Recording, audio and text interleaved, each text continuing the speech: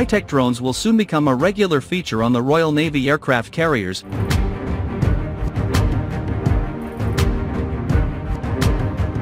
The war between Russia and Ukraine has certainly focused attention on the important role robotic systems such as military drones can play in major conflicts.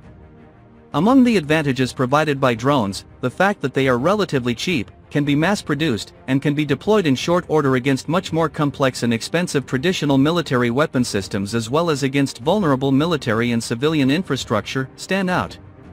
Stealth combat drones will soon become a regular feature on the Royal Navy aircraft carriers. The Ministry of Defence has taken the next step to secure more autonomous systems for HMS Prince of Wales and HMS Queen Elizabeth. A prior information notice has been published by Defence Equipment and Support, setting out a two-year deal worth up to £20 million.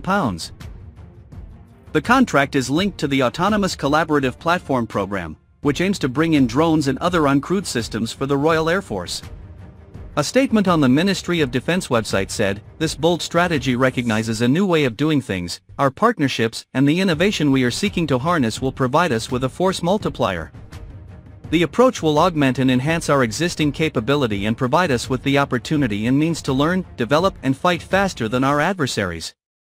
Businesses are asked to sign up for the second tranche of the program. A tranche is a portion of something, with this second batch of drones contributing to the whole amount being procured by the government.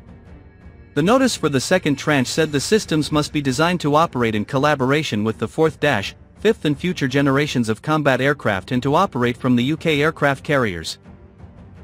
Coverage in the UK Defence Journal described this as marking a significant ambition to extend uncrewed combat capabilities into the maritime domain, particularly from the Queen Elizabeth-class carriers.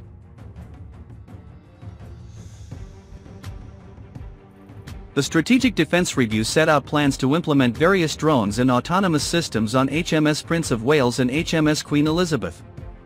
Malloy T-150s are currently being used for transporting goods between ships on the UK carrier strike group as it continues Operation High Mast. For the Royal Air Force, Protector and Storm Shroud are entering operational service this year. For the Royal Navy, the concept of hybrid carrier air wings continues to develop to greatly enhance the striking power of our carriers.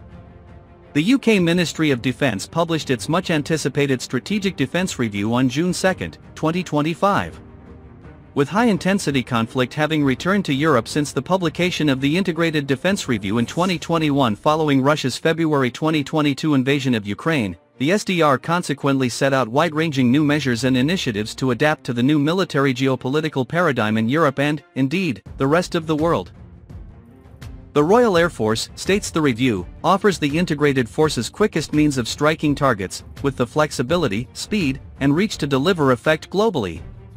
It adds, however, that the Royal Air Force's lean size reflects the requirements of a post-Cold War era, centered on counter-terrorism, counterinsurgency, and air policing, whereas, with the return of high-intensity conflict to Europe, the Royal Air Force must improve its productivity, agility, and adaptability to build greater readiness and resilience.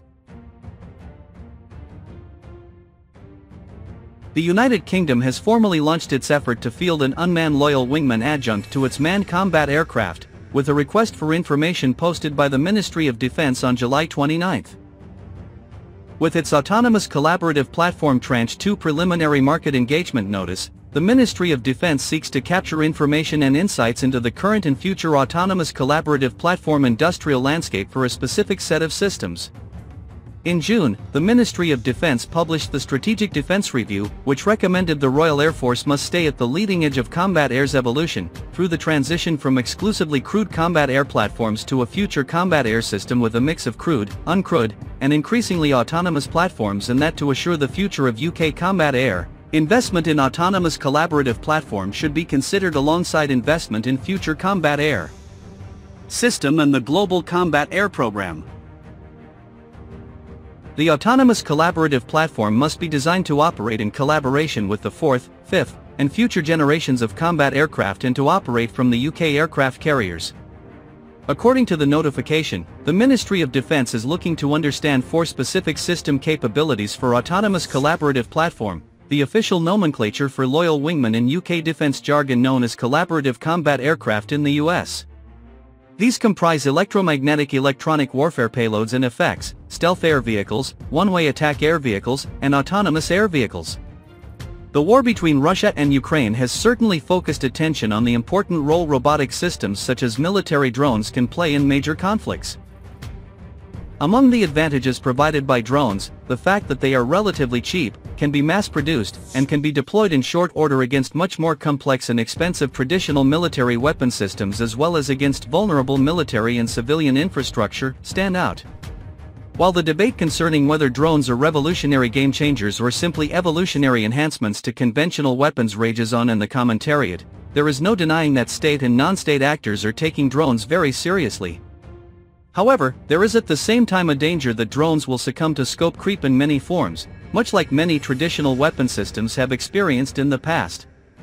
And, to the extent that they do, some of the touted advantages of drones may be eroded as these systems become far more complex and sophisticated and are asked to do more with the result that they risk becoming much more expensive than they are at present. One does not have to look far for evidence of this trend. Governments near and far are now seeking longer range, more speed, bigger payloads, and stealth for a broader range of operational missions from their drones. The question for the future is, will the growing demand for more from drones eventually erode the very characteristics that have made them so appealing to date? A statement on the Ministry of Defense website said, high-tech drones will soon become a regular feature on the Royal Navy aircraft carriers. The Ministry of Defense has taken the next step to secure more autonomous systems for HMS Prince of Wales and HMS Queen Elizabeth.